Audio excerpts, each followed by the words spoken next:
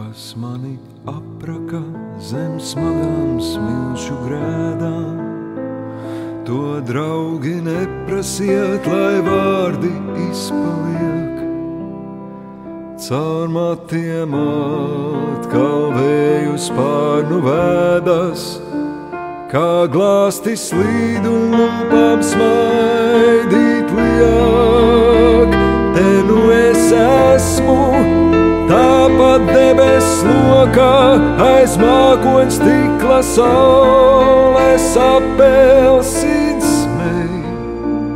Tālāks vēl, kā kādreiz gurdai rokai, bija gaišās vasaras un ziedu dvašas vīns.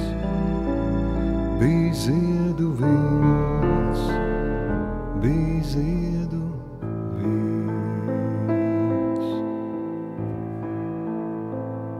Mēs tevi gaidījām, čukst nelasītās dzējas, kur kavējies, nav sapņu avots smelts, pār kuru spoguļojas tava seja, un dzelmēs krita mirdzošs skatu zelts.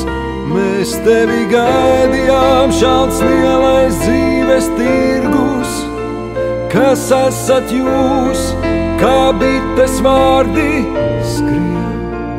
Mēs moku nesēji, mēs vezumnieku zirgi, mēs tie, ko neapsveic neviens, neviens, neviens neviens, neviens.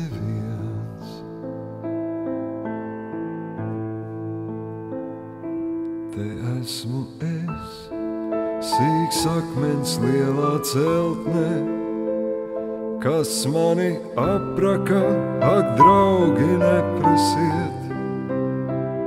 Tam ceļā stāties tikai pūles veltas, kas aprakts dzīves un sevi.